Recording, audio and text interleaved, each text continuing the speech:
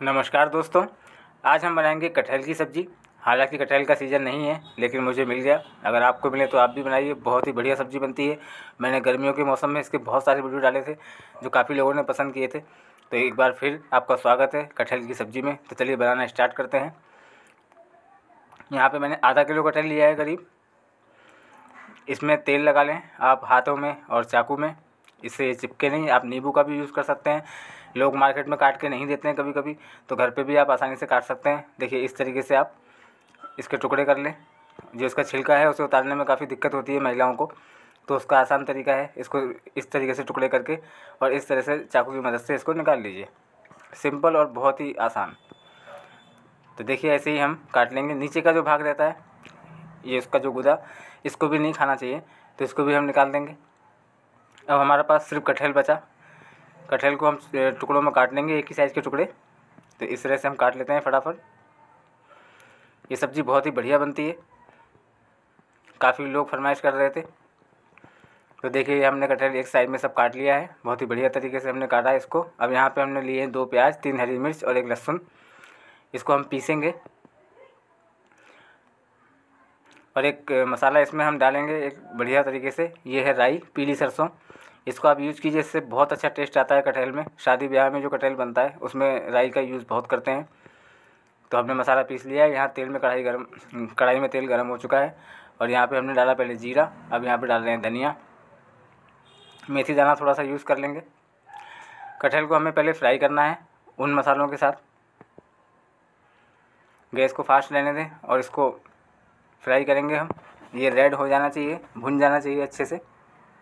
तो हम ढक देंगे इसको थोड़ी देर के लिए। तो देखिए कटहल हमारा हो चुका है। आप देख सकते हैं, अच्छे से फ्राई हुआ है। और फ्राइड कटहल बहुत अच्छा लगता है। इसका टिक्का भी मैं आपको कभी बना के दिखाऊँगा। बहुत बढ़िया बनता है।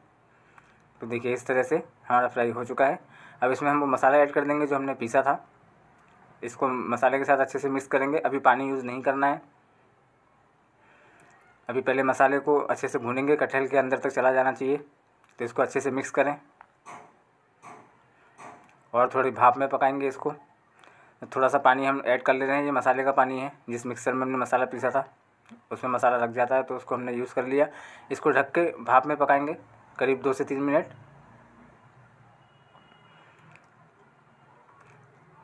तो दो मिनट के बाद हम देख रहे हैं। तो देखिए, हमारा अच्छे से कटहल और मसाला मिक्स हो चुका है। इसमें सूखे मसाले ऐड करेंगे।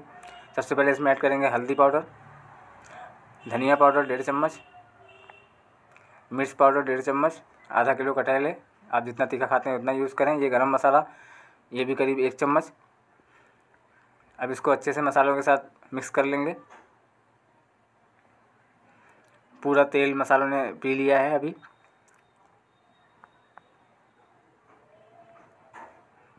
देखिए, बढ़िया तरीके से मसाले अंदर तक घुस चुके हैं।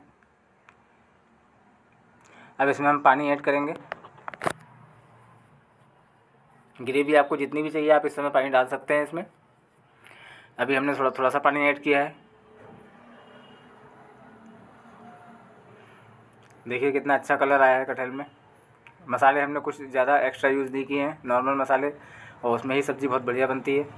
तो हम थोड़ा पानी और ऐड कर लेंगे। हमारे हिसाब से थोड़ा पानी कम था। नमक ऐड कर लेंगे स्वाद अनुसार फिर से एक बार चला लेंगे इसको। ये सब्ज़ी आपको बहुत ही बढ़िया तरीके से टेस्ट आएगा, इसका आप कभी बना के देखिए, इस तरह से इसे मैं बनाता हूँ। देखिए, मसाले वसाले सब हो चुके हैं पानी में, तेल भी छोड़ चुका है मसाला, लेकिन कटहल अभी गला नहीं है। तो इसको हम ढक देंगे करीब एक से दो मिनट के लिए तो देख लेते हैं। पानी अभी भी हमारा ठीक ठाक है, हमें ज़्यादा ऐड करने की ज़रूरत नहीं है, हमें इसको सूखा बनाना है।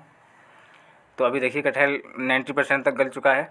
तो इसको एक बार और ढक के पका देंगे दो से तीन मिनट तक, स्लो गैस पे। तो यहाँ देखिए पानी हमारा सूख चुका है और इतना पानी हमें चाहिए जितना है इसके अंदर।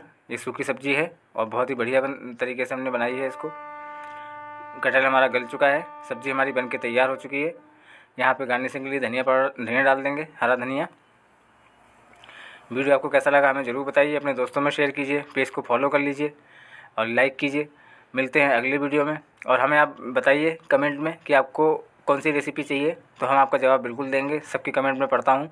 और आपका बहुत बहुत धन्यवाद यहाँ तक वीडियो देखने के लिए।